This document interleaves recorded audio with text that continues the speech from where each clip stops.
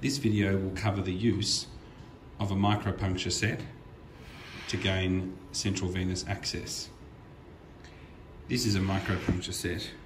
It contains four key pieces of equipment. The first is a 0.018 inch micro wire. This is substantially smaller than the normal wire contained in a central line kit. There's an introducing aid, which is optional and helps to pass the wire easily into the needle. There is a 21 gauge venipuncture needle with a beveled tip as usual.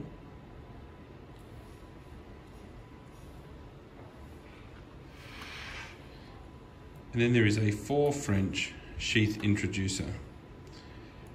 The sheath introducer has two components. It has the sheath itself, and then it has an obturator through the middle. Importantly, in the pre-assembled state, you will only fit the 0.018 micro wire through the sheath introducer. You will not be able to fit a standard 0.038 or 035 wire through this introducer. When the obturator is removed, there's a four French sheath that remains in place and can accept a normal sized 0.035 or 038 J wire or other kind of venous wire. We'll use this to exchange the micro wire for a normal sized central venous access wire. Arrange your equipment in the usual fashion. Here, you will see that equipment is set up in the order of which it will be needed, starting with venipuncture, the micro wire, the 4 French sheath introducer, the larger J-tip 0.038 inch wire, dilator, and finally the central line.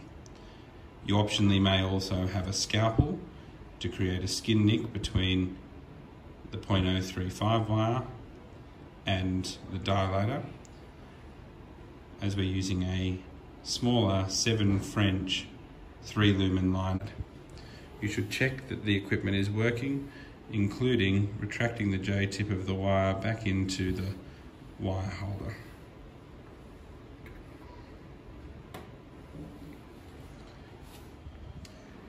Prepare the site in the usual fashion with skin prep using alcoholic chlorhexidine, a drape, local anaesthesia. Find the vessel to be cannulated. In this case, we're using a simulated right internal jugular vein. Ultrasound should be used for this.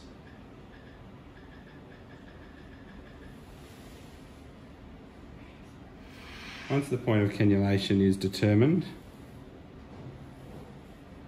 take the venipuncture needle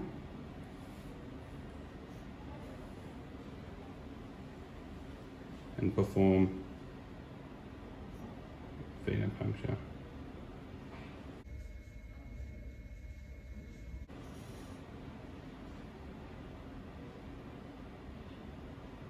Ensuring that the needle is placed well inside the vessel. Remove the syringe and occlude the end of the needle as usual. Take the micro wire and insert it into the venipuncture needle, ensuring that the wire feeds easily.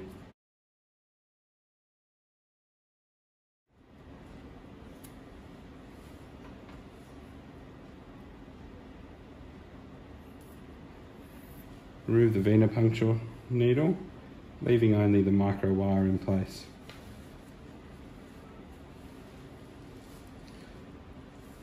Confirm venous placement with ultrasound.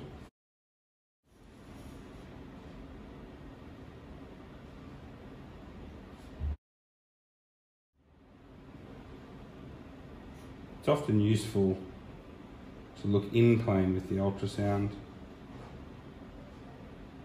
as the wire is quite small. Once venous placement of the wire has been confirmed, take the 4 French sheath introducer and railroad it over the top of the 0.018 micro wire.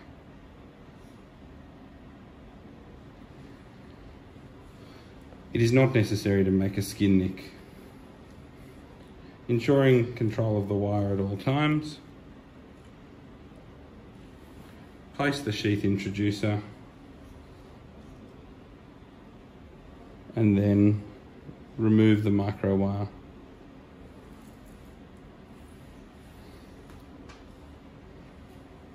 At this stage, you are not able to pass the normal J-tip wire through this sheath until you remove the obturator. Remove the obturator, being mindful to occlude the end of the sheath.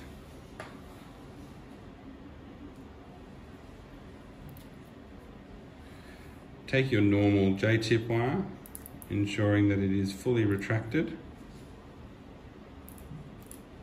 and insert into the sheath until your desired length.